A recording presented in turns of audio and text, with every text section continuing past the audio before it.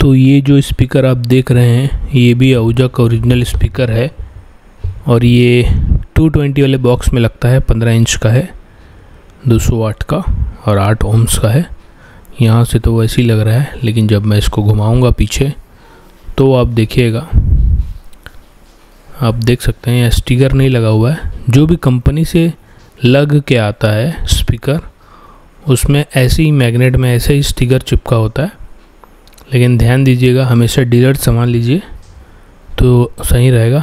दूसरे कैसे कर रहे हैं, नहीं मालूम। और अगर आप अलग से ख़रीदते हैं स्पीकर तो मैग्नेट में स्टिकर अलग रहता है, जो ब्लू कलर का रहता है शायद। तो ये कुछ ऐसा है। और ये आठ ओम्स वाला है। टू ट्वेंटी वाले बॉक्स में लगा था ये। आठ ओम्स देख सकते हैं आप।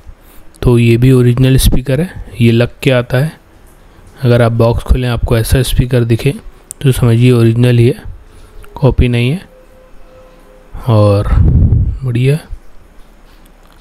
और इस साइड से भी थोड़ा देख लेते स्पाइडर साइड से भी और पर्दा साइड से भी।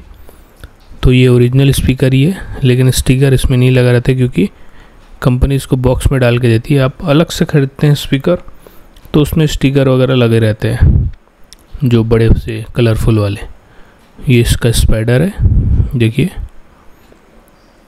बढ़िया, एक नंबर तो आप, ये आउजा का 200 वाट है, आप लोकल कंपनी के 300 वाट से आराम से इसका टक्कर करा सकते हैं।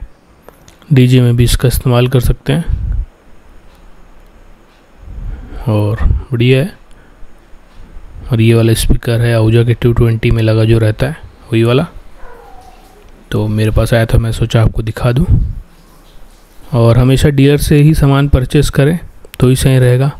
डीलर सर्टिफिकेट मांगे कि भैया दिखाओ हमको ओरिजिनल देख दे रहे हो कि कॉपी डीलर की ज़रूर सर्टिफिकेट देख लें, उसके बाद ही सामान ख़रीदें।